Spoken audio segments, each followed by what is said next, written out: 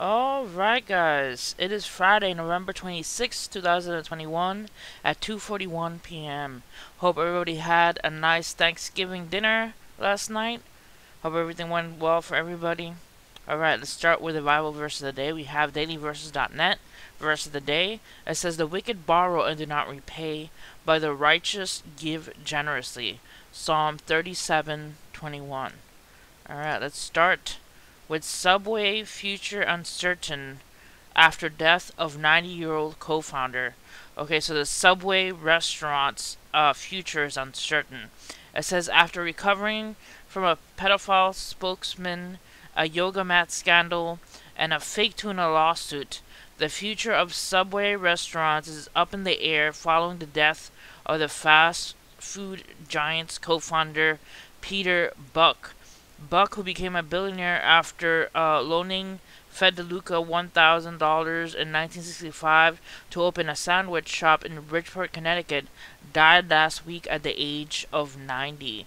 So the um, chain is up in the air. It says the New York Post notes the sandwich chain has been in negotiations for a potential sale uh, to Restaurant Brands International, the Brazil based owner of Burger King the talk fizzled, leading to RBI purchasing smaller competitor Firehouse Subs for 1.1 billion. Negotiations fell apart, however, due to part of the disagreements between Buck and DeLuca's widow Elizabeth, and each party has been controlled 50% of the chain since DeLuca's uh, 2015 death. According to the report, one of them, it wasn't clear which, has has been holding out for a higher price than the other, according to the source familiar with the negotiations. The company has denied any potential sale. Subway is not for sale, said a spokesperson in a statement. Uh, sales momentum has steadily been building since the beginning of 2021, and the launch of Subway Eat Fresh campaign this summer accelerated the momentum. We expect to exceed our sales prediction in 2021 by more than 1 billion. Some deal makers are skeptical, noting that Subway two years ago hired John Chidsey to be its first permanent chief executive. Chidsey's most notable achievement, they say, may have been his stint with CEO of Burger King, which culminated in the chain getting sold in 2010 to Restaurant Brands.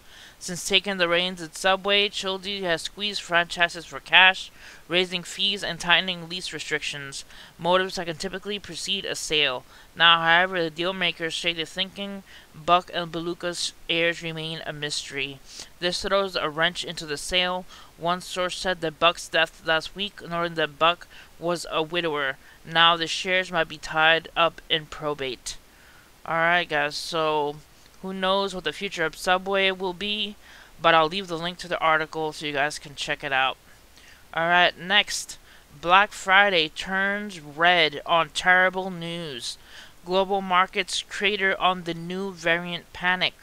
The Friday after Thanksgiving is called Black Friday because that's when retailers finally turn profitable for the year, not so much for market. However, because this morning is red as far as eye can see, the culprit, the same one we discussed last night, the emergence of the new coronavirus strain detected in South Africa, known as B11529, which reportedly carries an extremely high number of mutations and is clearly very different from previous incarnations, which may drive further waves of disease being by evading the body's defenses, according to South African scientists, said Anthony Fauci. So a lot of shops still on red because of the terrible news about the COVID variant. Let's take a look at the story about the COVID variant. It says a heavily mutated COVID variant emerges in southern Africa. Here's what we know so far.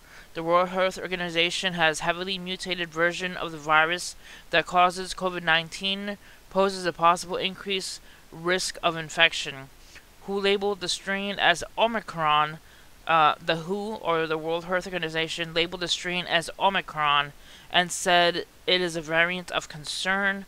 South Africa scientist Tulio de Oliveira said the media briefing that the variant contains more than 30 mutations to the spike protein, the component of the virus that binds to cells. The World Health Organization on Friday said heavily mutated strain of COVID 19 variant of concern now named Omicron, with a possible increased risk of reinfection. This variant has a large number of mutations, some of which are concerning. The WHO said in a statement released on Friday preliminary evidence suggests an increased risk, risk of infection with this variant as compared to others. The variant known as B11529 has been detected in small numbers in South Africa, WHO world officials said, with reports on Friday morning of cases being found in Israel and Hong Kong. However, the number of Omicron cases appears to be increasing in almost all South African provinces, the WHO reported on Friday. Alright, I'll leave you a link to this article as well. And apparently, there's a new virus on the board. Alright, next. Southern California utility cuts power to customers on Thanksgiving as wildfire risks surge. The latest utility company in Southern California cut power to thousands of customers amongst higher elevations of Los Angeles, leaving many households without electricity for Thanksgiving uh, Edison International Southern California Utility cut power to 32,036 residential and commercial building structures in Los Angeles, Orange, Riverside, San Bernardino, and Ventura counties to prevent windstorms from toppling power lines that would stoke fires in a drought stricken region. The utility projects up to a quarter million customers could lose service around Los Angeles and San Diego. So dry winds and drought-stricken conditions in Southern California are a product of La Nina weather pattern, which causally, uh, usually brings drier conditions to the region during the winter. So they got fire, uh, critical fire weather expected on the 24th, and today is the 26th. So who knows if it's still uh, being pushed the wind being pushed into the region. It says the National Weather Service warned the probabilities for wildfires are rising and windy conditions will sustain throughout Friday. On Wednesday, the red flag warnings was posted by Santa Barbara and the U.S. Mexico border. Alright, so Southern California heads up for the power outages. Alright, next one dead and three injured after a leak at a nuclear power plant in Tarragona, Spain. One dead and three injured after a leak in a nuclear power plant. Alright, we have a leak of carbon dioxide at a nuclear power plant in Spain on Wednesday. Killed one person and left three injured, emergency services said. The fault at the Asco plant in the region of Catalonia uh, was related to a fire prevention system and has no connection with the radioactive material, the Catalan Fire Service said in a tweet. Thank goodness that it wasn't related to the radioactive material. It was related to a fire prevention system. Alright, I'll leave the link so you guys can check out this article about the nuclear power plant. Alright, next, newly identified active faults under Long Beach and Seal Beach, California, intensely rattles near Los Angeles. So, the Los Angeles basin is home to countless faults that range from thousands of feet of 100 miles uh, in length. These include normal faults, reverse faults, thrust faults, and strike slip faults. The Newport Inglewood Fault Zone a series of faults that extends between Newport and Inglewood, California, is one of the major sources of seismicity in the area.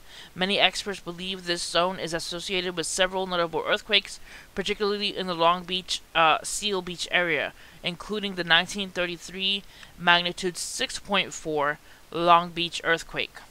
Less widely known are the basin's numerous near-surface faults, some of which were recently identified in the immediate Seal Beach area a, a scientist at 3D uh, Seismic Solutions, a seismic data consulting company, uh, recently discovered one particular active fault in the area. The finding highlights the difficulty faced by emergency managers, city planners, and engineers in knowing potential hazards when planning for future earthquakes. So we have a new fault in California, in the Long Beach area. Alright guys, so I'll leave you guys a link so you guys can check this out more and take a look for yourselves about the newer uh, faults popping up in California. Alright. And finally, we have next five asteroid approaches from NASA's Jet Propulsion Laboratory and California Institute of Technology. We have the first asteroid, 2021 VM, the approximate size of 93 feet, about airplane size. The closest Earth approach is 2 uh, miles from Earth. Uh, it will be passing by on November 27th, 2021. Then we have asteroid 2021 VO12, which is 160 feet in size, uh, about airplane size. The closest Earth approach is 1,740,000 miles from Earth.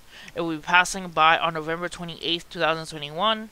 Then we have the next asteroid, 1994 WR12, which is about 390 feet in size, about the size of a building. The closest Earth approach is 3,820,000 miles from Earth. It will be passing by on November 29, 2021. Then the next asteroid is 2021 UP4, about 160 feet in size, about an airplane size. Uh, the closest Earth approach is 3,310,000 miles from Earth. It will be passing by on December 4th, 2021. And then the last asteroid on the list of five is 2021 VX7. It'll be 130 feet in size, about the size of an airplane, and the closest Earth approach is 3,530,000 miles from Earth, and it'll be passing by on December 6th, 2021. Alright guys, that's it for this video. Hit like and subscribe for more news. Uh, pray for the people of California who have to deal with the power outages then also have to deal with the new fault lines. Uh, pray for the people who are now facing a new variant. I don't know if the variant is actually factual or if it's just something that the government's coming up with or if we really are dealing with a new variant. But please pray for everybody. Alright, guys, see you next time. God bless you guys.